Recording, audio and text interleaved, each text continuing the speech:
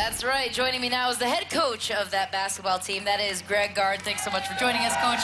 What did you learn about your team last night in that win? Well, I think the nice thing is that we were able to play a lot of guys. I think that's one of the strengths of this year's team is its depth.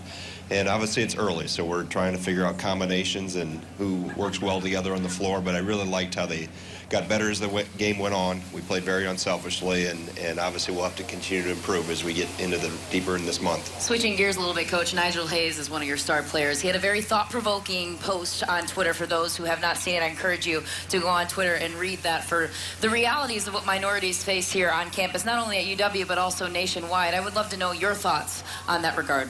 Well, I think it, it, was a group of student athletes, one, and it wasn't just Nigel, but he was, uh, I thought it was very well written.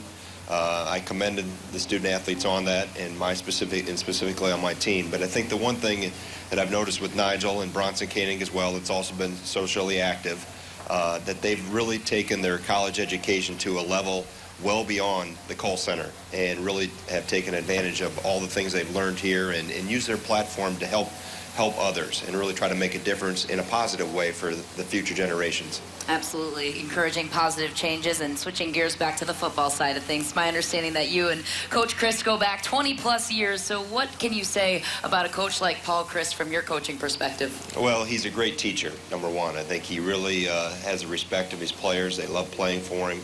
He is about the players first, and he really puts them, uh, you know, he understands how important their experience in a positive way is for, for their time here on campus. And uh, he was a heck of a high school quarterback. I watched him then, and obviously he came on. He was here at Wisconsin as a player, but uh, great person, terrific coach, great family person.